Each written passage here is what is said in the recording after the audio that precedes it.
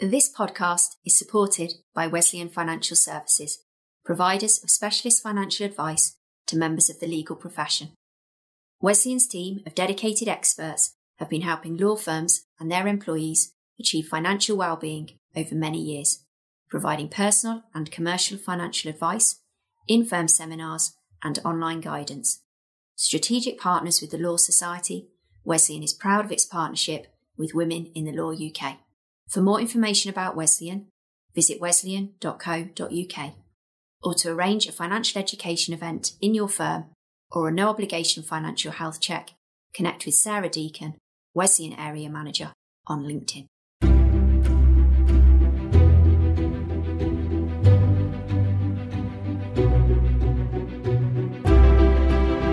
Hello, and welcome to a new episode of Talking Law from Women in the Law UK. I'm Sally Penni, MBE, a barrister at Kenworthy's Chambers in Manchester, the Joint Vice Chair of the Association of Women Barristers, and the founder of Women in the Law UK.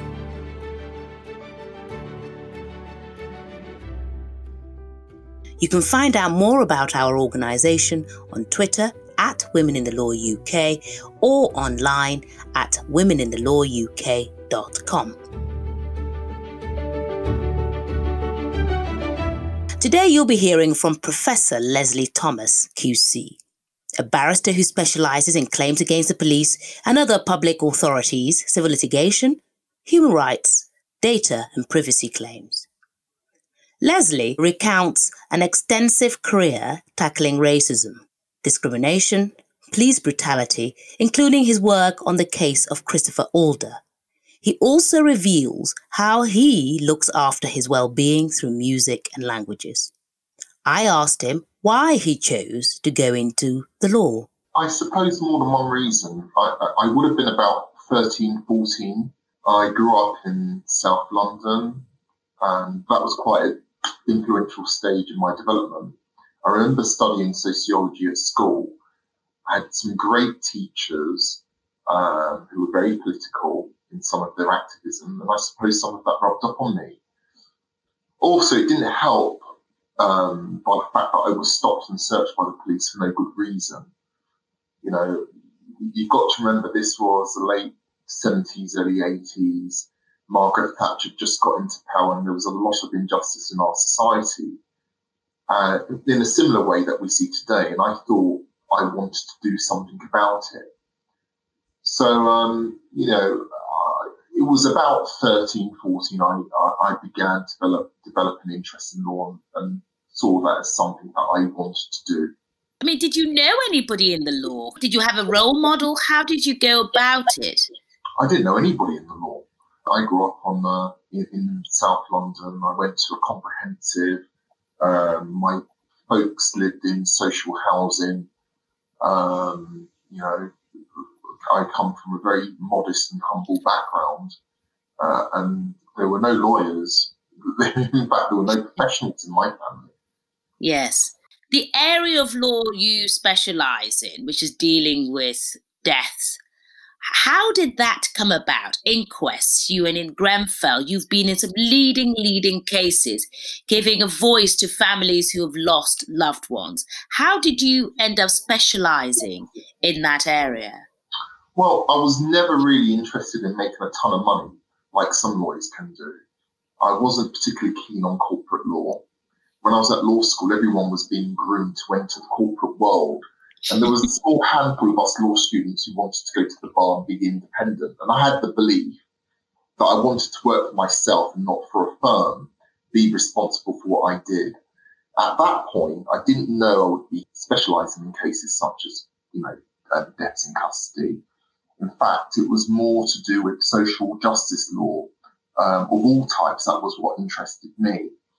When I became a tenant at Wellington Street Chambers, having done a, um, a, a commercial pupillage, um, and I wanted to get out of that as soon as I, I could, I started representing tenants against bad landlords. You know, I did a lot of housing law. I did educational law representing um, children who've been excluded from schools. I did a lot of personal injury representing claimants um, taken on companies or people who had injured them. Yes. I did employment law, representing employees, taking on employers.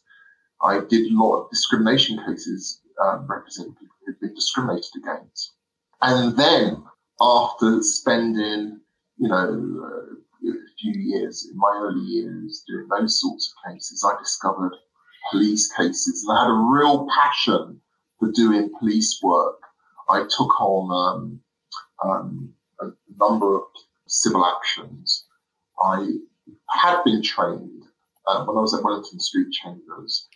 Um, had a fantastic training there. There was one one of my supervisors was a barrister there called James Wood. James trained me to do them, and so I started doing them. And what was great was it meant that I could have be in front of juries, but be in front of juries on civil claims, which is what interested me. The, the one thing I was never really into was doing um, crime, doing criminal law. I did a little bit of criminal law in the beginning, but it was never really for me. I, I wanted to do political or protest crime, where yes. you know, people had been criminalised for their beliefs. But as I began to develop and progress uh, outside the magistrates' court, I found that I was expected to go to the Crown Court and represent people who'd been charged with pretty nasty offences, which honestly I didn't have my heart in doing that.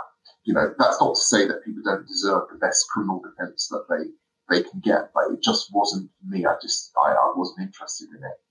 And then uh, uh all of a sudden, I was instructed on my first inquest, and it had everything. It had you could examine parts of the criminal justice system. You could be on the side of what I consider to be the righteous. so, I was, so, I was, representing bereaved families who had lost loved ones, who had died in the most horrific circumstances. Um, the advocacy was uh, uh, amazing. You could do really great advocacy before before a jury. Um, there was fantastic legal argument. Oftentimes, these cases would lead to challenges in the administrative courts. So I was doing lots of judicial review. So it just had everything to it. And it was something I could feel really passionate about.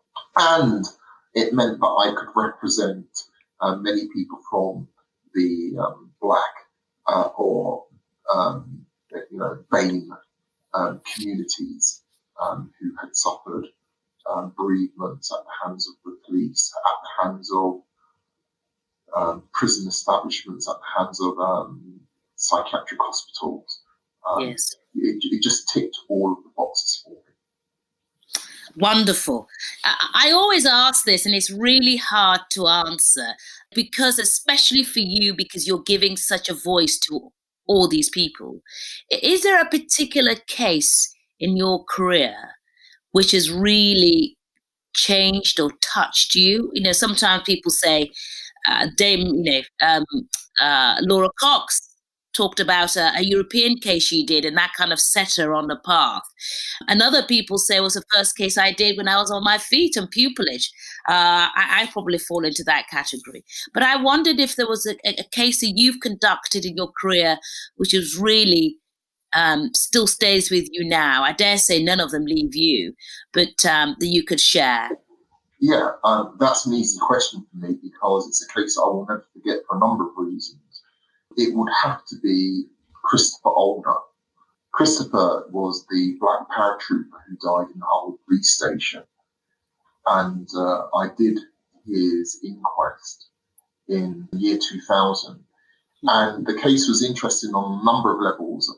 First, it was interesting because it was a year that the um, Human Rights Act came into force. So, the Human Rights Act is 19, uh, 98.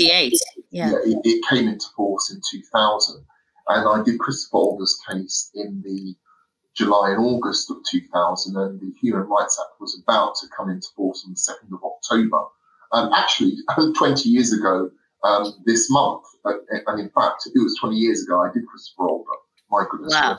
where, where has the time gone? Yes, but, absolutely. So, so, it was interesting on that, that level because the the coroner um, embraced the um, up and coming Human Rights Act, and so it was a it was really a, a fully compliant human rights inquest. It, and so it was one of the first ones that I did um, bearing in mind the Human Rights Act. But the, the main reason why I remember this case and it will live with me um, until day that I pass this earth is because it was the first case where captured on CCTV, it was the first of my case captured on CCTV, where you see somebody die. And you actually see uh, Christopher Alder die on camera. That was shocking in itself, but what was even more shocking was the fact that you had five white police officers standing around watching a black man die before their eyes. And they were laughing and joking in the in the police station. They they didn't check him. They were um, you know chatting amongst themselves, and um, Christopher was slowly passing before their very eyes, and you actually hear his death groan. And when he passes, um, that's when they panic and run into action and start to try to um, um, resuscitate him and deal with him. What's interesting, just two days ago, there's a film director called Ken Fero who has done a number of films touching injustice and police restraint, police brutality. He's just done a he's just on a film called Ultra Violence, which had its premiere two evenings ago. I, I would say if you, you be interested in the work that yeah. I do, to, to watch Ken Fero's film. It's it's currently being showcased at the British Film Festival. If, if you go to the BFI, the British Film Institute's website, yes, yes, um, you, you, can see you can actually watch watch it because it's showcased there.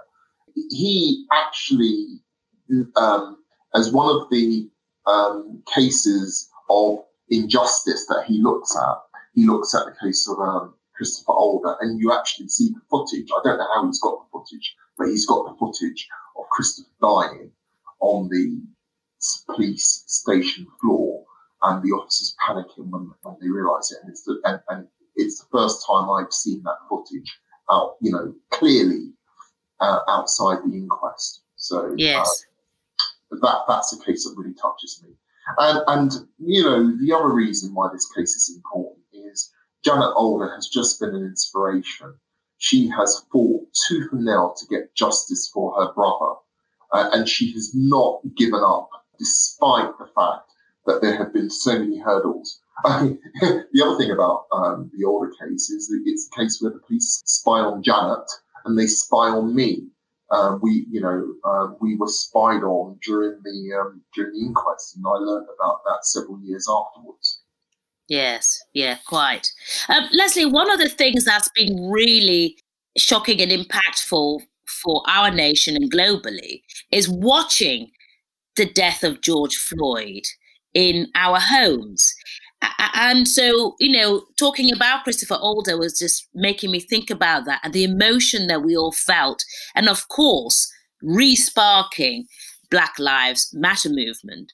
And you spoke about your own experiences as a professional black person you know, even not getting through the doors of security to get to court, whilst our opponents and our colleagues wave through. I just wonder if I can ask you, and I always ask everyone this, but what do you think about Black Lives Matter, diversity in our country? How can we do better, get better?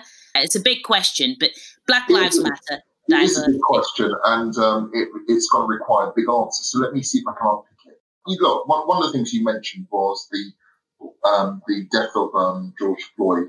Now, when I first saw that death, I, I, you know, and saw the first footage being brought into our homes, I still have not managed to watch the entirety of the nine minutes or so that George is under the the knee of a police officer.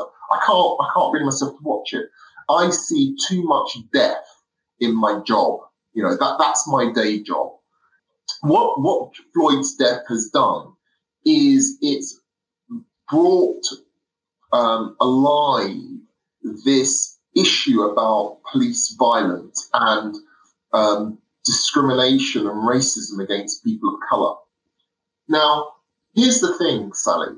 George Floyd saying, I can't breathe, it is nothing unique to the cases that I've been involved in over the years. I've done several cases where police have restrained or killed people whilst in their care or in their custody and they've been saying, I can't breathe.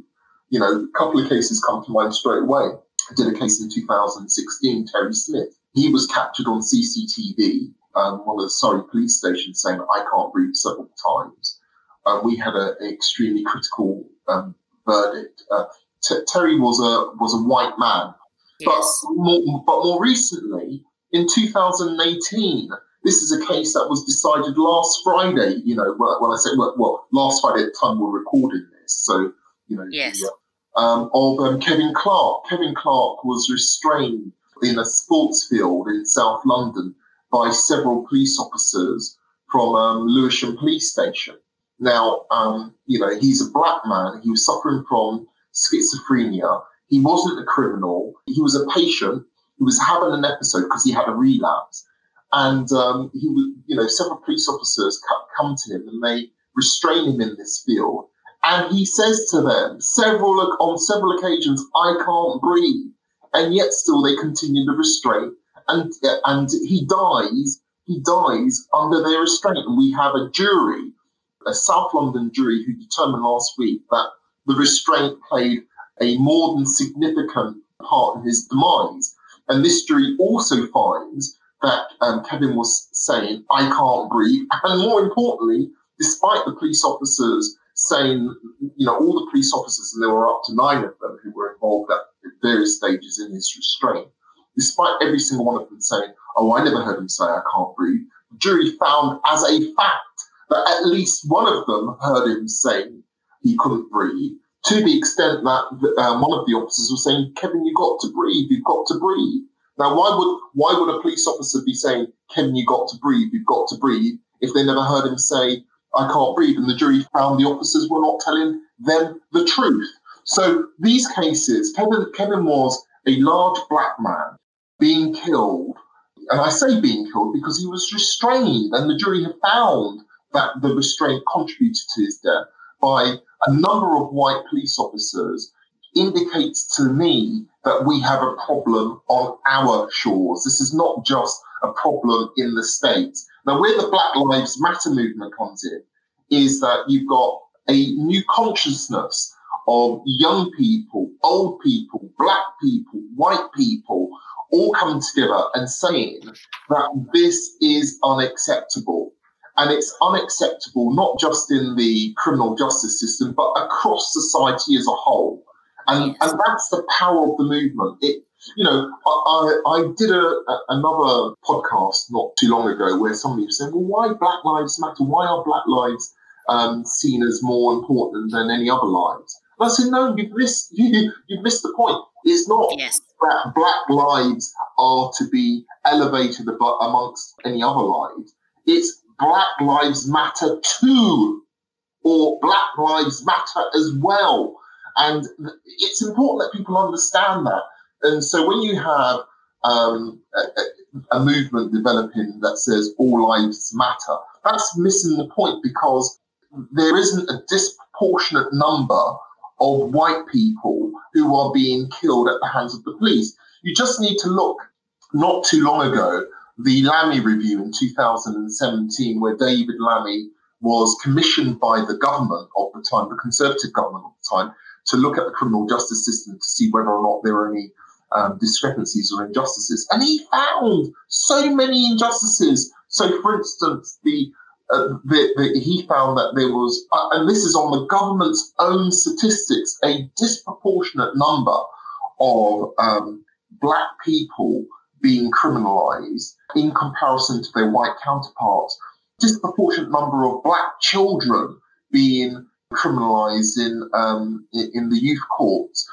At every stage, stage. of the criminal justice system, from um, arrest, stop and search, um, um, charging decisions, prosecutorial decisions, and sentencing, and when you get to the um, prison system, Prisons, you have disproportionality in that when you look at the numbers of black people in this country, black people, particularly uh, young black men, are being treated in a disproportionate way to their white counterparts. Now, here's the thing, and I like this in the Lammy Review, where you have this disproportionality, if, you, if, if there is a good reason for if it can be justified, then so be it. But more often, there was no apparent justification for the, the treatment. It, the, the, the, disproportionate figures could not be explained.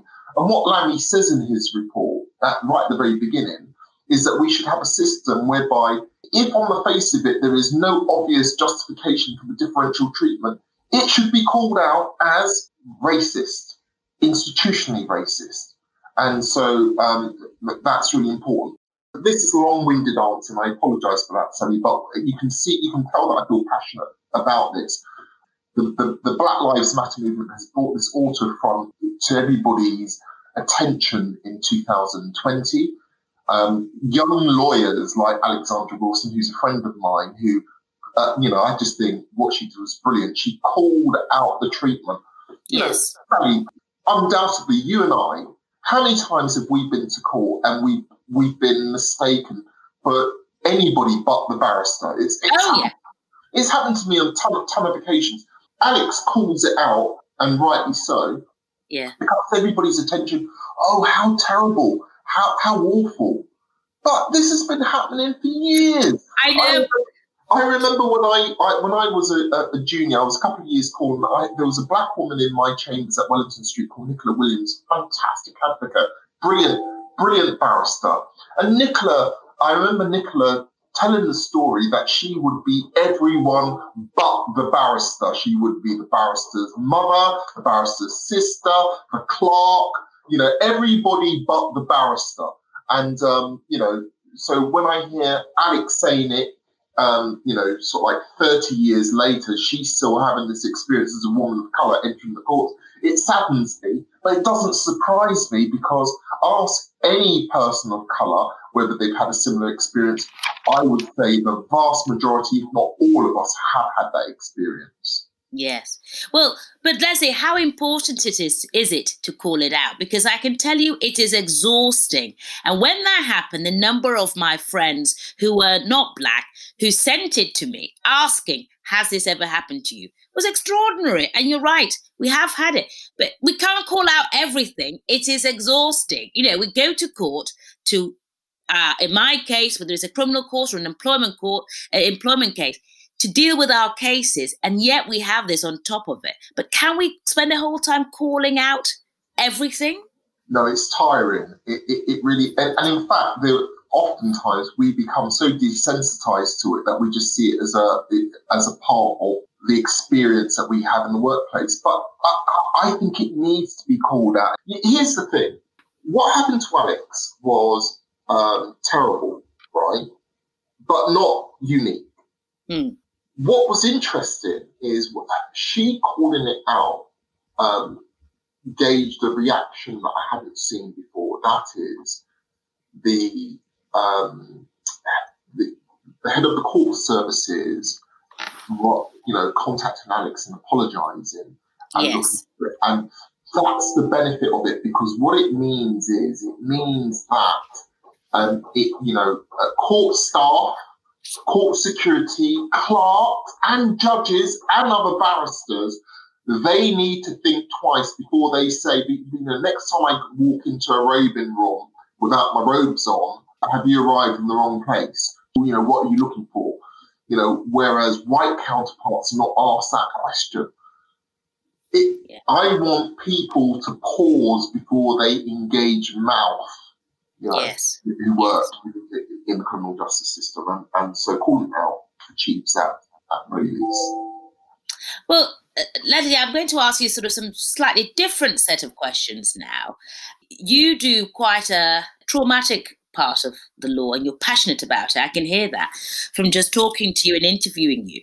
And I can see a saxophone in the background. So I'm wondering what you what you do for well-being because let's face it, you know, the burnout rate at the bar is not great. You know, it's great the Bar Council's been doing so much work on wellness, well being. But what do you do to switch off? I do essentially, I have three key hobbies.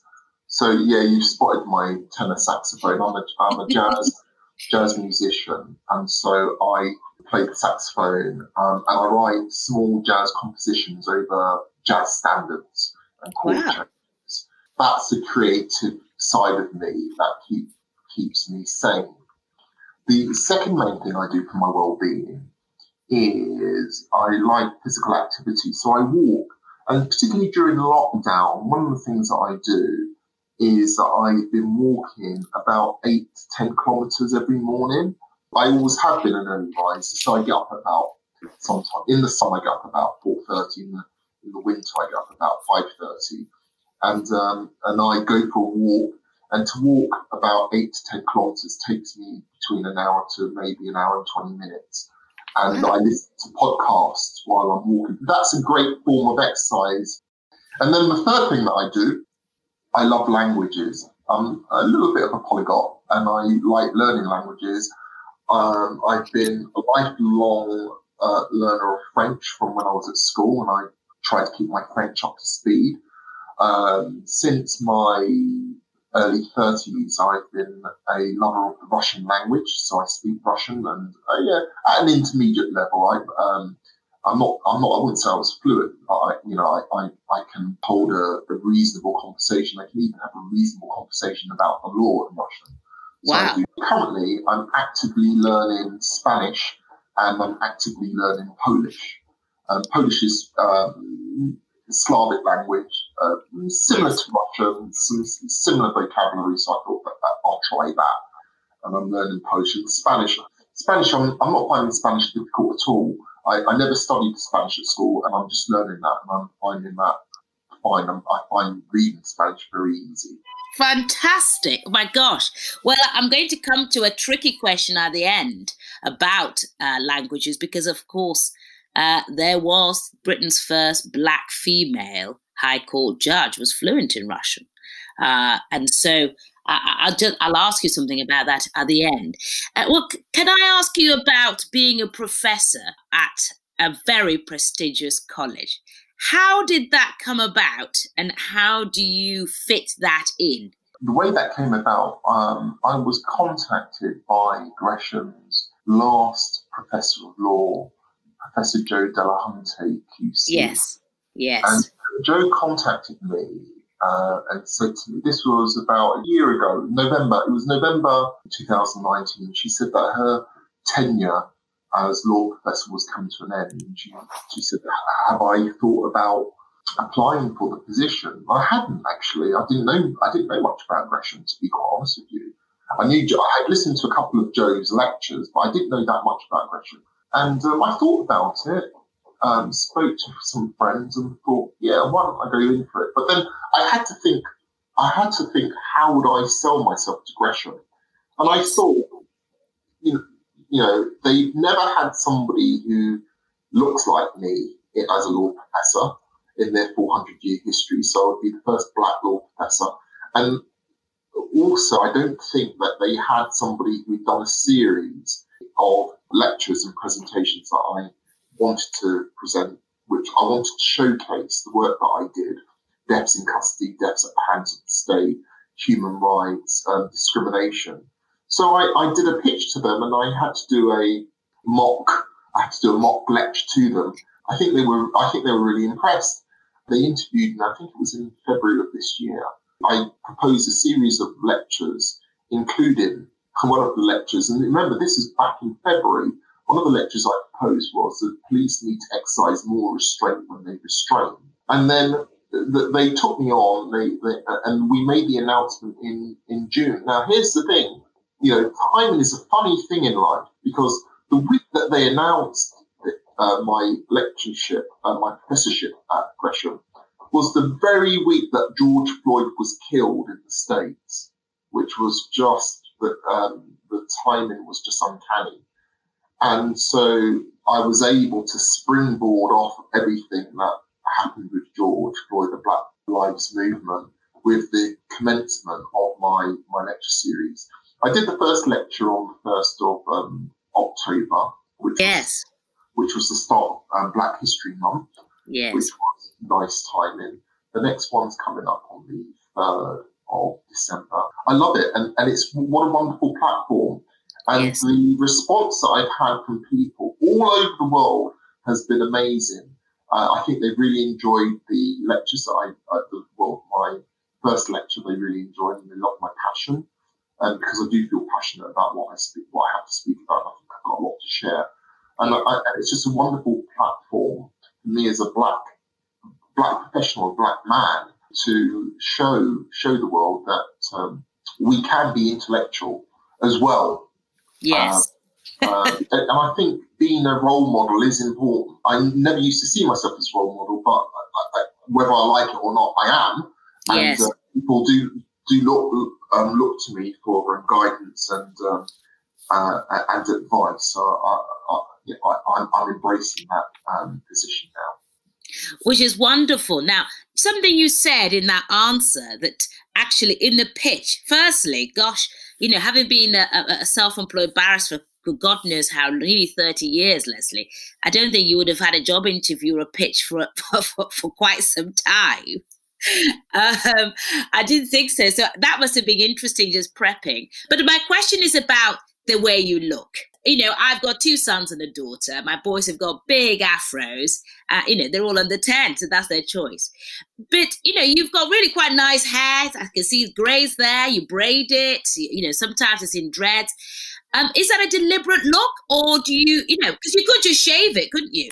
Uh, uh, and uh, it is a deliberate look. Uh, you know, I embrace my dreadlocks, um, and uh, uh, there's an interesting story behind my dreadlocks. There was um, after I did the case of um, Christopher Alder, I, I, received a complaint against me, which didn't go anywhere. You know, I think it's just part and parcel of doing this job that you will, you know, if, you, if you're performing a public service at times, people will make make complaints against you. Half the time, those complaints will be unjustified. Speaking of which, I, I had a I had a complaint lodged against me recently simply because I had dared to suggest that race was inextricably linked with the fire at Grenfell, and the member of the, the public wrote wrote to the Bar Standards Board, of which I'm a member. So, um, you know, they had to get independent barristers to look at this complaint uh, because I had dared to make a submission that the inquiry needed to look at um, race um, uh, it, it, when they look at when they're considering why so many people of colour died in Grenfell, and that offended somebody. Um, I think their, their argument was a fire doesn't discriminate well, fire doesn't discriminate, but you need to ask the question, why did so many black people and brown people die in, in, in this fire? It's the elephant in the room. But um, coming back to my hair, when my when this complaint was made against me um, about 20 years ago, I decided I'm going to embrace my blackness and everything about me being black, and I wasn't going to, you know, sort of like um, be respectable or do what people expect of me that, you know, because all too often we as black people are told what to do with our hair.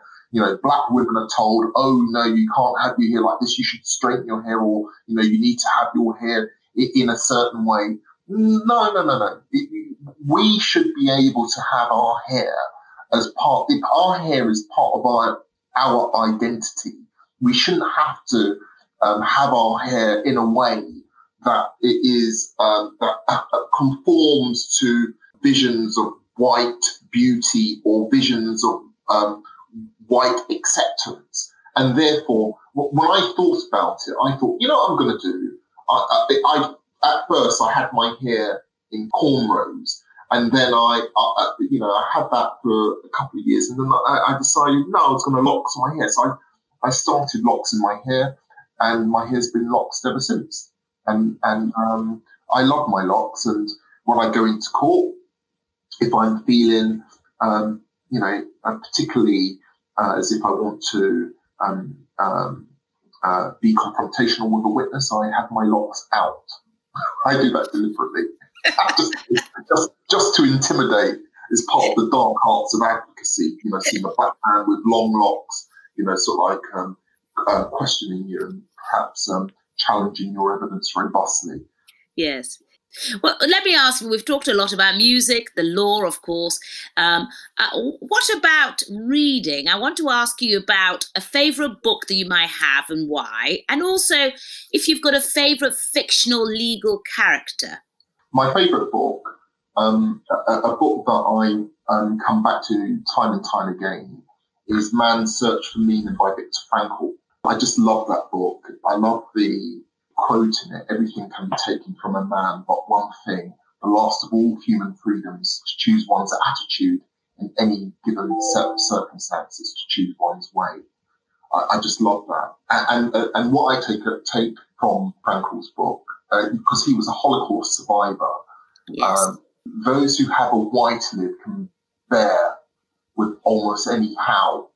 Yes. So um, that's my favourite book. Um, I'm, cur- I'm, currently reading um, a really interesting book. Uh, I'm trying to increase my anti-discrimination knowledge, and yes. so if I expect my white allies to be educated, I've got to educate myself. So I've got a ton of anti-discrimination literature, and the one book I'm reading at the moment is The Clapback by Elijah Lawal, which is a brilliant book, which um, it's it, it's the guy calling out racist stereotypes, and what Lawal does is he unpicks all the racist stereotypes against black people. You know, sort of like um, you know our identity. Where do you come from? Why do people always ask you? So where are you from? You know, I speak like this, and it's quite clear that I'm a Londoner, and I still have people saying to me, "But where are you from? But where are you really from?"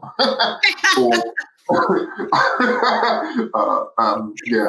Um, um, he deals with stereotypes about food we eat. He deals with stereotypes about the police. He deals with stereotypes about sport. It's really funny actually because one of the stereotypes about sport, sport is black people can't swim.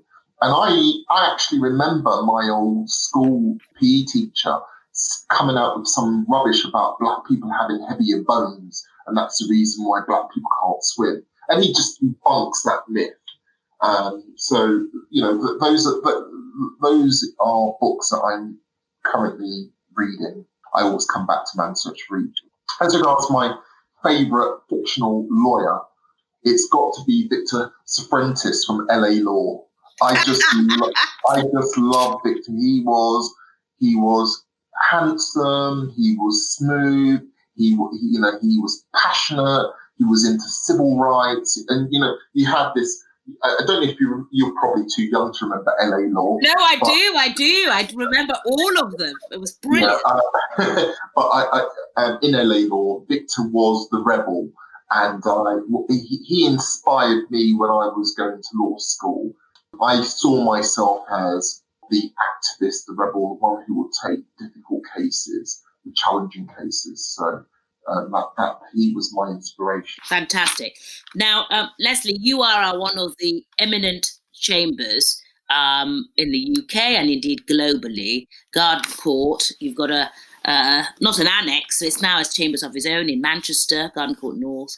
I wonder for young people entering the profession, because you've spoken at so many pupillage fairs, uh, the inns events uh, in the temples is, you know, uh, not my inn, but uh, you've spoken lots of so many students to encourage them to enter uh, and stay. I wonder if you had maybe three short tips for um, young people because the climate is difficult at the moment with COVID uh, and finding places and just general struggle about the law. What would you say to some people wanting to enter the law or um, about retention or about, you know, longevity? I always say it's a, it's a, marathon, not a sprint, just to encourage. The, the first thing I would say is you really do need to know yourself, know thyself, know, know your strengths, know your weaknesses. When you know yourself, you know what you're passionate about. Because if you can be passionate about something, it will make the way easier. Particularly, as you know, coming to the bar in particular is very competitive now. Now, I'm not going to tell anybody not to go to the bar, right? Me um, neither. Yeah. You know, if, if that's your dream, you should go for it, but you need to know why you're going for it. So that's number one. Know yourself. Only you know what you your you know your um, more, most secret thoughts and what drives you when you pull the covers over your head at night.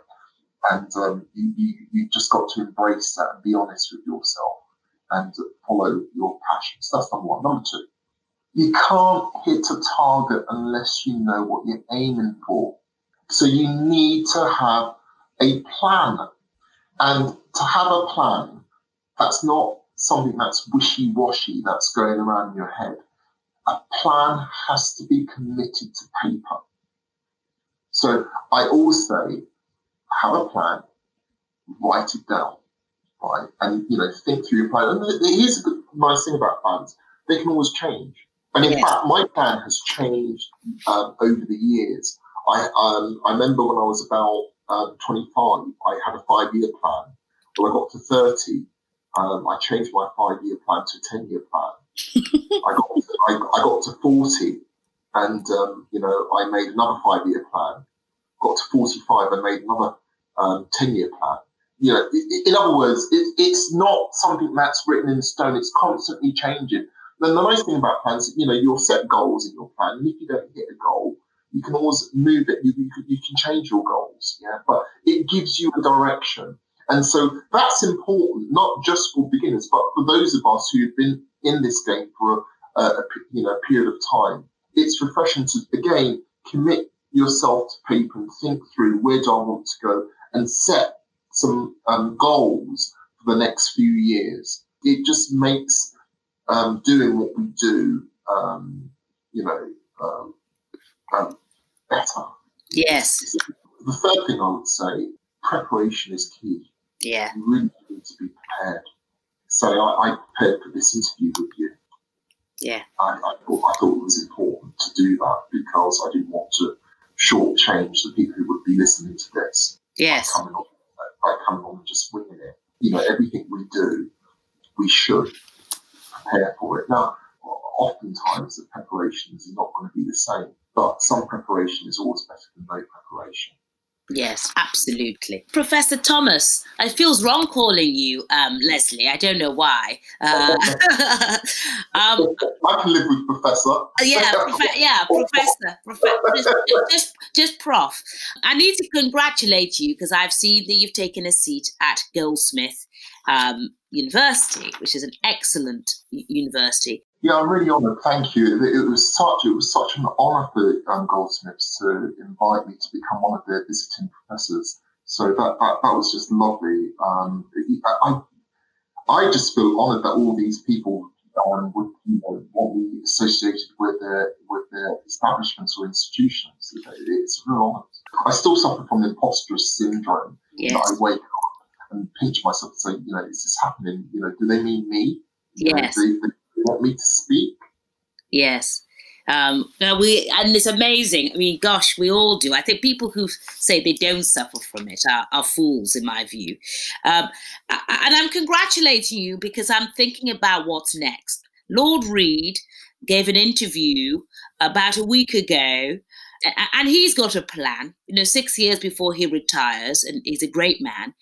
And he was he's saying what lord neuberger said and he's saying to a large extent what lady hale said um, uh, who of course did much for women. Um, you know i set up a women's organization. And so i'm looking in the supreme court and i'm seeing the composition of that court and i'm reading lord reed's interview uh, and watching it and i'm listening to you. And I'm wondering, Professor Thomas, might the Supreme Court be a place that you might consider, or the High Court, uh, or, or, the Court of Appeal, the decision making places in the law?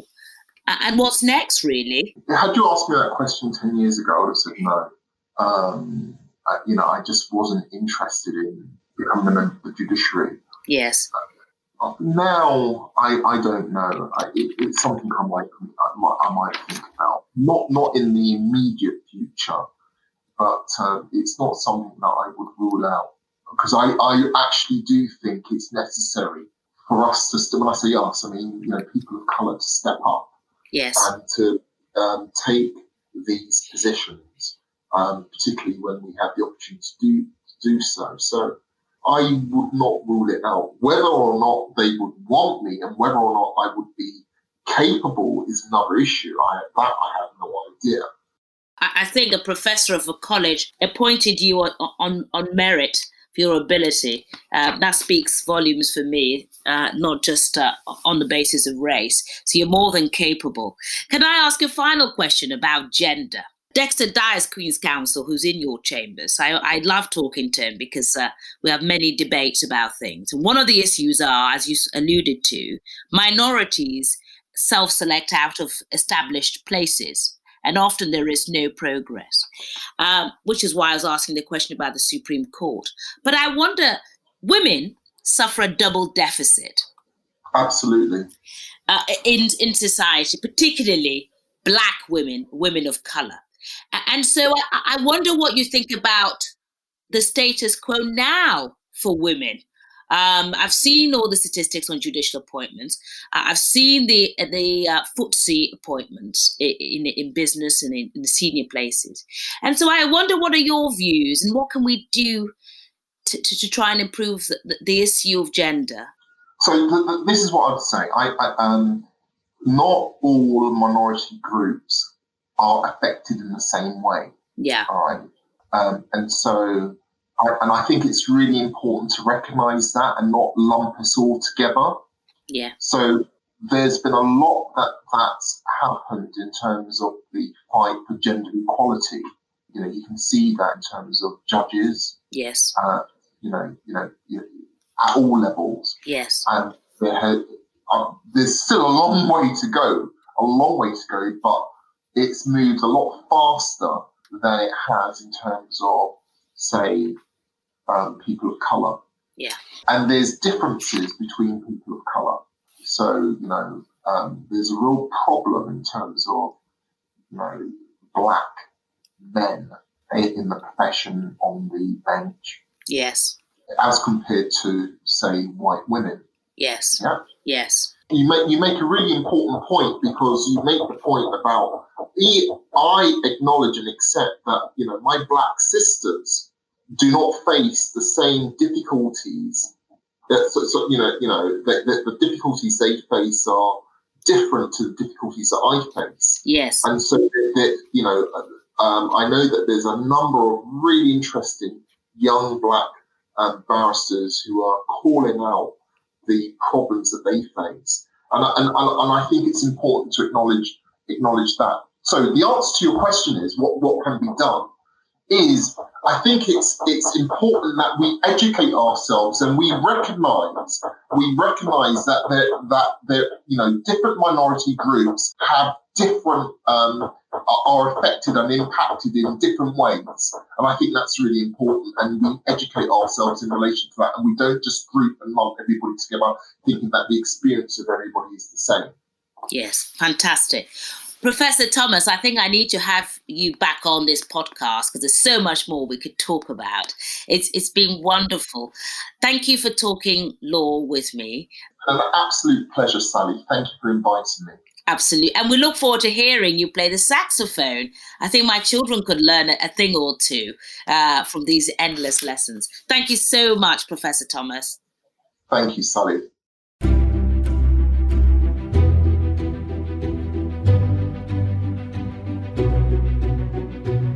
Thank you so much for listening to Talking Law with me, Sally Penni, MBE. You can find me on Twitter at SallyPenni1. We'd really appreciate it if you left us a rating or a review. Thank you in advance. Remember, if you've enjoyed the podcast, then you can now buy Talking Law 2, a book with advice for students and lawyers on well-being, resilience, and of course, on financial well-being plus some of the podcast interviews. Thanks to Wesleyan Financial Services for supporting this episode, and thanks also to Sam Walker and our production team at What Goes On Media. See you next time.